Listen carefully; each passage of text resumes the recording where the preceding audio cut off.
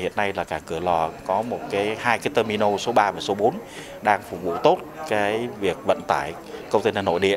ờ, kết nối giữa thành phố Hồ Chí Minh, Đà Nẵng, Cửa Lò và Hải Phòng ờ, với cái tần suất là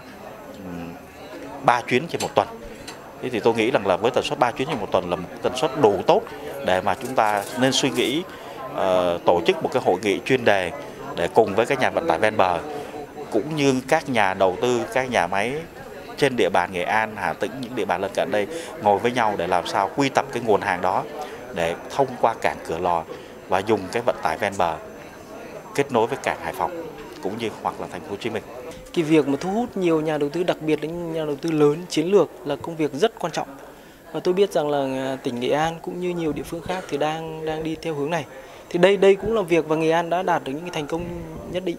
rất nhiều những dự án đầu tư đã tìm đến Nghệ An để hoạt động kinh doanh khá hiệu quả. Dự án V-Ship là một dẫn chứng rất là rất là rất là cụ thể.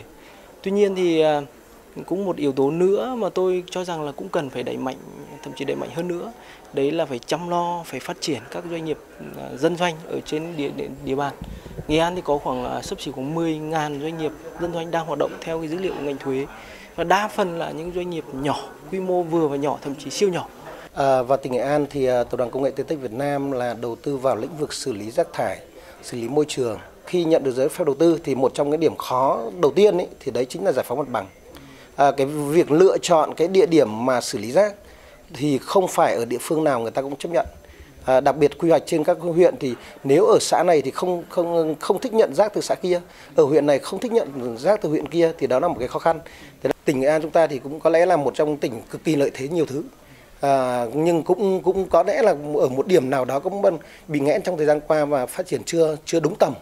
thì tôi nghĩ rằng trong thời gian tới theo cái cái buổi hội thảo hôm nay và theo phát biểu của lãnh đạo tỉnh thì tôi nghĩ rằng là